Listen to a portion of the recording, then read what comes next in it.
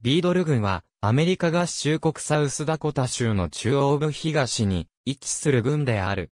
2010年国勢調査で、の人口は17,398人であり、2000年の17,023人から3.3%増加した。郡庁所在地はヒューロン市であり、同郡で人口最大の町でもある。ビードル郡は単独でヒューロン小都市圏を構成している。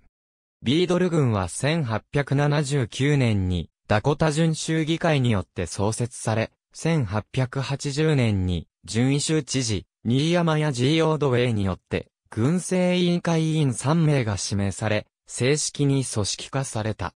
軍名はダコタ準州の初期に貢献した測量総監で南北戦争ではアメリカ陸軍準将だったウィリアム・ヘンリー・ハリソン・ビードルにちなんで名付けられた。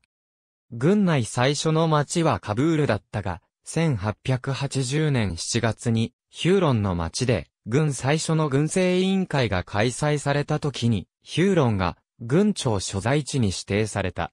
アメリカ合衆国国勢調査局によれば、軍域全面積は1265平方マイルであり、このうち陸地は1259平方マイル、水域は6平方マイルで、水域率は0.48%である。